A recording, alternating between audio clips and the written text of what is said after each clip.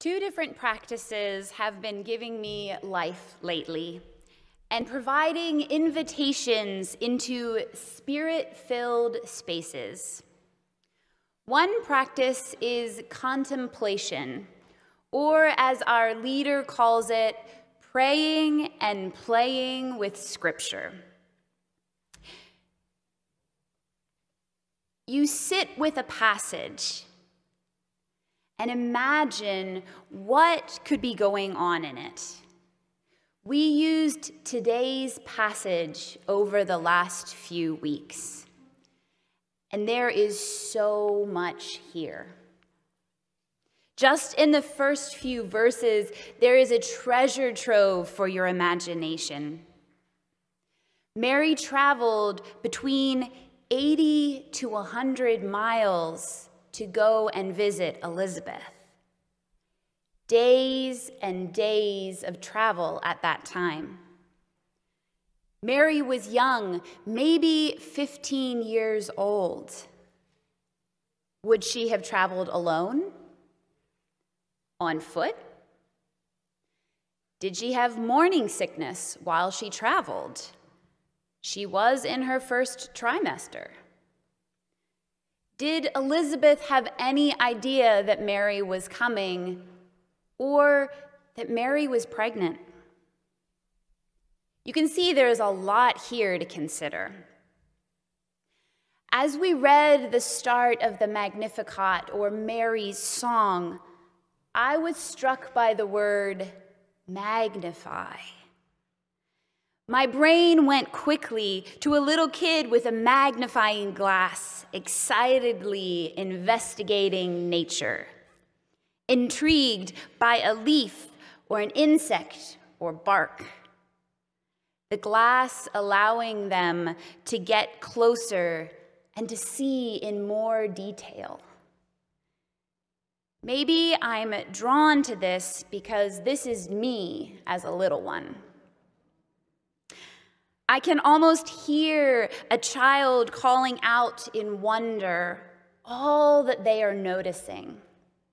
Look, the grass has this hairy edge. The bark has about 10 shades of brown. I can see all the parts of the grasshopper legs. Mary starts this poem song with my soul magnifies the Lord. To magnify, to make larger, and to see closer. Maybe this song is doing that for God's heart.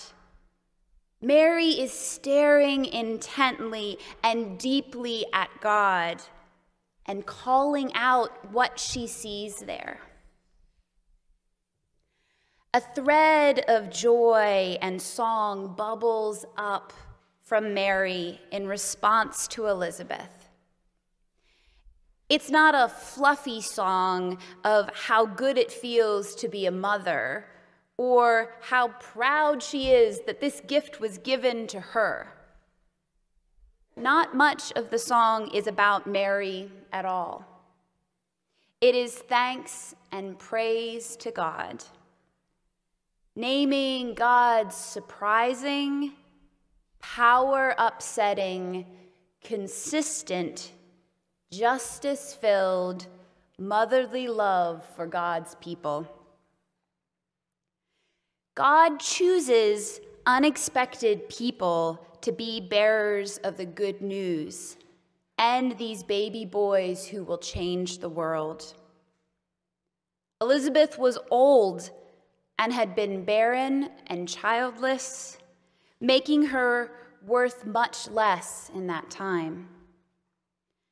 Mary was young, descended from no one worth mentioning, and is pregnant outside of marriage. But Mary's song emphasizes that God is acting well within God's character in choosing her because this God brings down the powerful and raises up the lowly. God takes a lowly outsider and plunks them right at the center of this story. Mary's words here echo Hannah's song just after God granted her her son Samuel, and Hannah gave him back to God's work in the temple. Mary must have known these words, maybe taken them to heart. I memorized the Magnificat in college for a lessons and carols style of service. The problem is, I'm not great at putting long passages to memory. I got on the stage and I delivered all of the words, but the verses were in the wrong order. While mine was a fumbling mistake, Mary draws on the words of her foremother, Hannah, and sings her own reimagined song. Mary is overflowing with praise and thanks.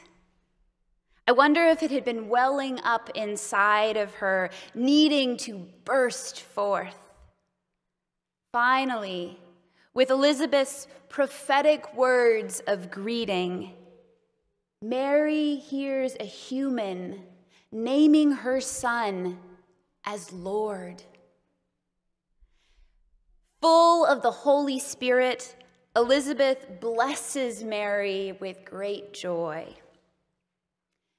Mary is faced with someone who might understand both the miraculous nature of her pregnancy and the mix of emotions that come with it.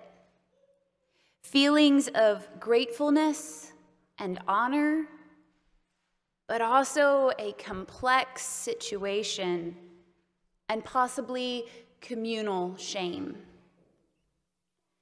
And Mary sings from this topsy turvy situation about a God who turns structures of power on their heads, scattering the proud, bringing down the powerful, lifting people up, filling hungry folks with good things, and sending the rich away empty handed. No wonder Jesus could preach a good sermon when his mother was singing lullabies like this over him. This is how God shows up on earth, bringing justice through the generations. This is not a fluffy Hallmark movie. This is a mother's love giving of her very flesh, showing a love that both embraces by acting in mercy and also correcting. This kind of agape love is active, a choice as much as a feeling. It's the love that Jesus goes on to live out by seeking the well being of others without expecting anything in return. Loving the forgotten ones who usually fall through the cracks. People like old women and young unmarried mothers. My parents taught a course with leaders from the Pacific Islands. As part of their time together, my mom taught them several songs. One being a setting of the Magnificat that many of you might know. After singing, a few of the participants came up to my parents and said, We can't sing these songs. People will get upset. They knew that these words would challenge their social status quo and offend the rich and the powerful in their congregations. Does hearing this shake us up? And should it? The Women's Bible Commentary puts it this way The Magnificat is the great New Testament song of liberation, personal and social, moral and economic.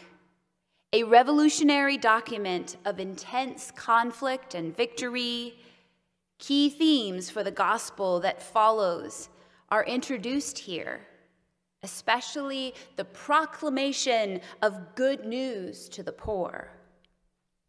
Mary's song is precious to women and other oppressed peoples for its vision of their concrete freedom in systemic injustice. Mary's song captures the already but not yet of God's kingdom in its tenses. Mary speaks about the future of God's work as if it's already completed.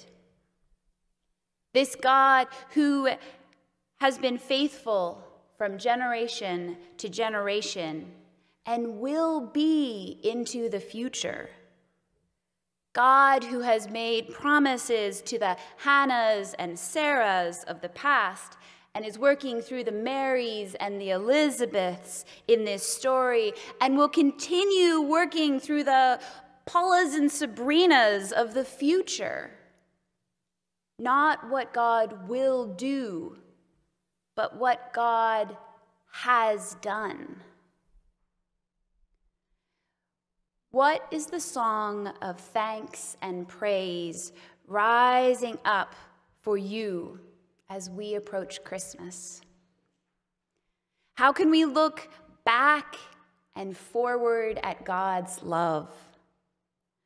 Where is that love turning things upside down today and choosing the unexpected players? The second practice that has been helping me remember God in my life is guided meditation and mindfulness. In one practice a few weeks ago, the leader invited us to still our bodies, hold a moment of calm as we let God look at us in love.